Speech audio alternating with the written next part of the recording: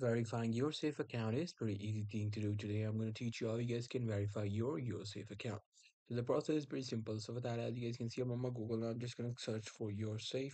After searching for Yoursafe, I'll go to yoursafe.com. And the yoursafe.com, I'm simply going to log into my account. Now, after logging in, as you guys can see, I'll be able to click on my profile, and this is how the home page will look like.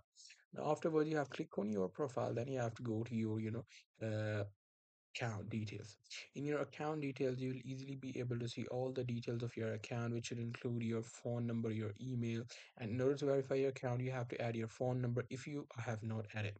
If you already have added phone number and email, which means your account is verified. As you guys can see, uh, it wants me to verify right here. So if I click on that, it will want me to, you know, uh, scan the ID card, which means uh, if I'll open up the app, I'll simply tap on that option and it will open up the camera and want me to scan my ID, which should contain my name. So uh, the ID could be your uh, driving license or your uh, national identity card. So you just have to scan that to verify your, Yoursafe account. So that's pretty much it. That's how you'll be able to completely verify Yoursafe account. Hope you guys find this video helpful.